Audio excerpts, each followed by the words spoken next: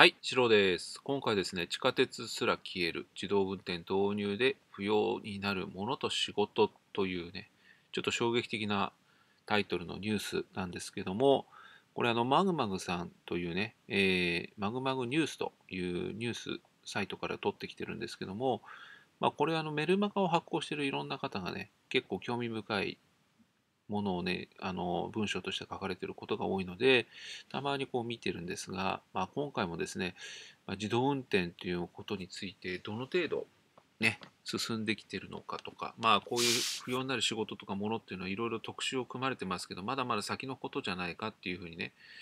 思われてる、私自身もそうですけど、思ってる方も多いんじゃないかというところにちょっと警鐘を鳴らす部分もあって、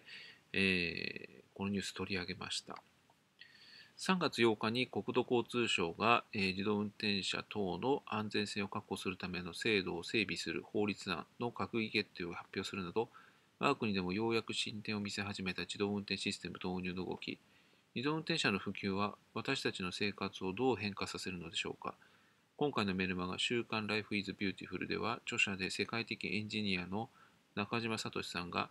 不要になるもの、デザイン変更を迫られるもの、さらに大きな影響を受ける業種などを紹介しています。まあ、これはね、有料メンバーがあるんで、こっち取ってみるとどうですか？っていうことですね。中島聡さんっていうのは、ソフトウェアとか起業家であったりとか、いろんなことをやってるという方ですね。まあ、こういうメルマガ書くだけでもすごい時間取られると思うんですけどね、すごいなと思います。自動運転社会に至る道、最近になってようやく自動運転車が普及した社会が今とどれぐらい違うかを語る人が増えてきてとても良い傾向だと思います。経営信号自動運転化で2040年に米都市調査団が予測などは良い例ですと。まあ、これ文章になってるんですけどもね。まあ、あの、このマグマ自体の、えーリンクはこう貼っときますので、そのリンクからね、えーこの文章を見て、こう出て、見ていただけるといいと思います。直接ね、これやると、なんかいろいろとね、問題があるので、まずはこのニュースサイトをね、見ていただくといいと思いますね。自動運転車の導入によって人間が運転する自動車、信号、駐車場、ガソリンスタンド、電気自動車が前提、タクシー、バス、トラックの運転手、駐車場やガソリンスタンドで働く人。まあ、この辺はもうね、想像して大体わかるかなというところになると思うんですけども、もう一つですね、これ、自動車のディーラーなんかも結構影響大きいですよね。まず、自動運転が、あの、この人間が運転する自動車っていうものが、所有するものでなくなってくると、皆さん、まあ、乗るためにこう呼ぶっていうだけになるんですよね。要するにタクシーだけになってくると。でも、この人数の、ね、人たちをこう運ぶための台数が、まあ、今、所有している台数よりもですね、かなり減るっていう事実もあるわけですね。で、駐車場も自宅に置いていかなくていいから、自宅に駐車場もいらない。あるいは近所に駐車場。近所の駐車場っていうのは多少いるかもしれませんけどね。ある程度、あの自動車を待機させておくためにっていうところになると思うんですけどもね。で、もう一つ、その自動車ディーラーっていうのは、まあ、ある一定の数は残ってくるというか、メーカーさん、そういったね、自動運転の車を維持していく、あるいはそういったものを運管運管理とか運営していく会社にそのまままとめて売るって形になると思うんですけども、そうなるとね、B2B のビジネスになってくるので、全くその個人間とのね、その取引っていうのがまた全然違ってくると思いますよね。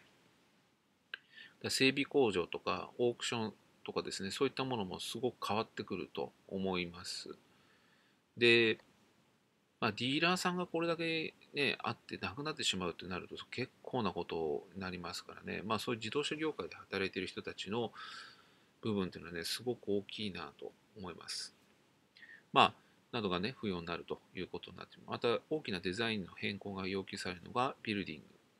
地下駐車場が不要に、道路、高速道路っていうところですよね。まあ、これもね、かなり変わってくるだろうなと思います。電気自動車で高速道路を走ることは可能でしょうけれども、遠くまで行くっていうのは、やっぱりその航続距離の問題がまだまだ時間がかかると思うんですね。途中で降りて別の車に乗っていくとかっていうことになるかもしれませんし、あるいは燃料電池車によって大量にあの輸送するっていうことも考えられますよね。あるいは横断歩道とか歩道橋、歩道、自転車道なんていうのもそうですし、公共交通機関、特に地下鉄っていうところがね、ここで言われてますね。ちなみにこの上の写真ありますけれども、これ中国の写真なんですね。でこれもう自動運転で動いてる車でしてバイクはもう右端に寄せられてですねここから完全に出ていかないようにっていうのかな、まあ、ここにもちょっと出ていくところありますけどもねそういった形で、まあ、中国なんかはねやっぱ共産主義ですからこういった街をね作り直しちゃうんですね自動運転用に。という感じです。まあちょっとね、関係ない話になっちゃったんですけど、どれもが数十年間使うことを前提にインフラ、作れるインフラであるためと、まあ、大きなデザインが変更されるっていうのが、まあ、ビルディングとか道路とかですね、横断歩道、歩道橋ですね、ここら辺も随分変わるだろうなということですね。自動運転車が本格的に普及し始めるのが2030年頃と考えると、今のうちから準備しておく必要があります。アメリカではすでに新しいビルを建てる際には駐車場が不要になる時代を見越したデザイン。例えば、えー、駐車場をあえて地上に作り後にオフィススペースに変更できるようにするなどということですね、まあ、1階に作るということですね。を最優するところも出てきているそうですが大変は従来がやったのをデザインのままですとまだまだねそこまで移行するんじゃないかなというふうには考えられてないわけですよねで、まあ、業種として大きな影響を受けるのは運輸業、公共交通機関ですよね。まあ、これもそうです。自動車産業、これもそうですよね。これ大きいと思います。日本は自動車産業によって発展してきてますからね。まあ、今はだいぶ衰退はしてきてますけれども、まあ、それでもやっぱりいろいろな部分を牽引しているところは大きいと思います。運送業とか流通業、これもそうですよね。まあ、あの大和さんとかね、佐川さんとかもそうですけども、この辺が自動運転になると、ものすごい変わってきますよね。小売業とか飲食業。ここはね、ピンとこない方もいらっしゃるかもしれませんが、あの公共交通機関とかですね、あの人が集まるところにある置いてあるお店ですとか、そういったものがね、不要になってくるんですね。自分の近所でもこう手に入れるようになったりとか、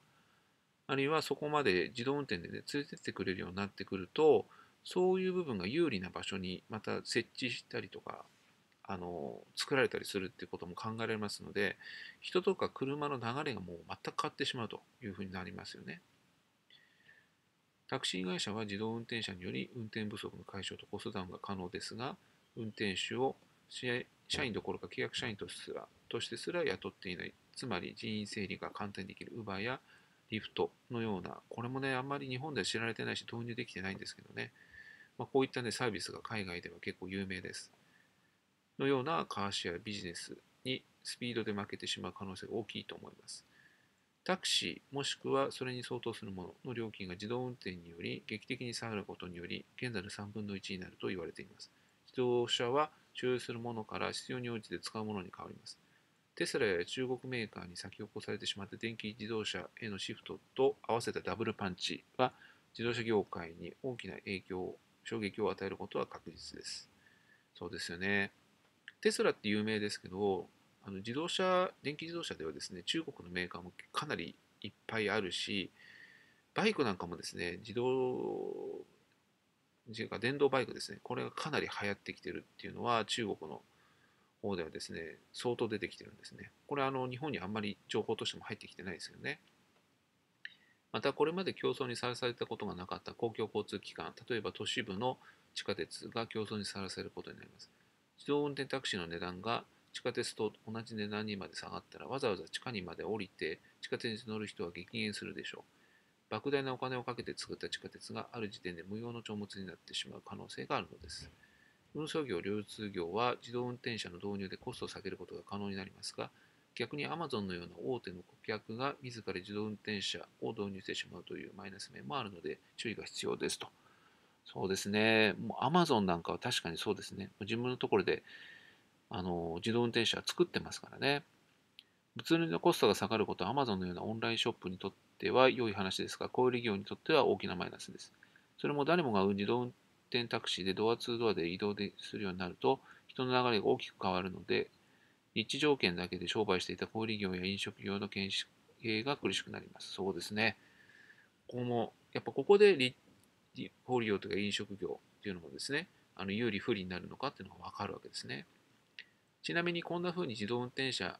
がもたらすだろう社会のことを想像するのはそれほど難しくありませんが、現在とのギャップが大きすぎて、どうやってそんな社会に変化するのかの道筋を想像するのは簡単ではありません。全部の自動車が自動運転になってしまえば信号も車線も駐車場も不要になりますが、人間の運転する自動車との共存は簡単ではあります。1000ということですね。結局のところは、まずはレベル3、レベル4の自動運転車、運転席に人間が座っている必要がありますが、一般の道を人間の運転する自動車に混じって走るという移行期間がしばらくあり、十分に自動運転車が増えた時点で人間が運転する車が排除されて、信号車線駐車場が除去されるというプロセスを踏むしかありませんと。まあ、これだと時間かかるということですよね。しかしそれを自然なプロセスに任せていては20年ぐらいかかるので、都市の一部を自動運転車ゾーンとして指定して強引に時計の針を進めてしまう政治が必要必須だと思いますということですね。そういう意味では共産党が圧倒的な力を持ち何もない土地に自動運転都市を作ってしまうことができる中国は圧倒的に有利でそれに続くのが先進的な考え方を持つシアトルやアムステルダムあたりだろうと私は見ています。東京は2020年にオリンピックがあるのでそんなゾーンを恒久的に作ってしまう大チャンスだったのですが残念ながらそんな発想は今の日本の政治家にはないようです。その意味では日本列島改造論で強引に日本中に高速道路を敷いた田中角栄、新宿に高層ビルを集めた副都心を作った意味の米両基地のような明確なビジョンを持った政治家が日本には必要だと思いますということですが、なかなかね、政治力に期待しても今のところ難しい部分がありますけれどもね、うん、でもやっぱりそれぐらいのちょっと強引さがないとなかなかこういったね、街がこう変わってくる、自動運転によっていろんなインフラが変わってくる、あの生活が変わってくる、住む場所もね、人によってすごく変わるんじゃないかなっていうところもね、やっぱりあると思います。だって今の渋滞ですとかね、あるいはこの通勤のための混雑っていうのは、本当無駄でしかないですよね、やっぱりね。もうちょっと人が少なくて、いろんな、ね、ストレスのない状態で移動ができるっていう社会を目指した方が、結果的にはいいんじゃないかなとは思うんですけどもね。でもなかなかそういったところにこうシフトするっていうのは、いろんな力関係ですとか、いろんな思惑がね、こう入ってきて、なかなかこう移行するのが難しいとは思うんですけども、まあ、自動運転というのはね、それが進む一つの大きな転換になるんじゃないかなというふうにも考えられますよね。はい。まあ、なかなかこういった社会に行くにはですね、まだまだ時間かかりそうだなというのが私の本音でもありますけども、まあ、世界的にはですね、こういうふうに一気にやってしまうところも出てくると思うので、まあ、そうするとね、日本がますますあの後進国になっちゃうんじゃないかなというか、ね、あの遅れてしまうんじゃないかなというふうに、うん、結果的にはなってしまうでしょうね。だから少しでもね、やっぱり考え方だけども導入してですね、いつそういうふうなものにシフトしたとしても、生きていける、やっていけるように考えていかないといけないなとは思っております。特に若い方はね、そういうのを備えていかないと結構厳しい、ね、社会になってくるだろうなと思いますね。はい、最後まで聞いていただいてどうもありがとうございます。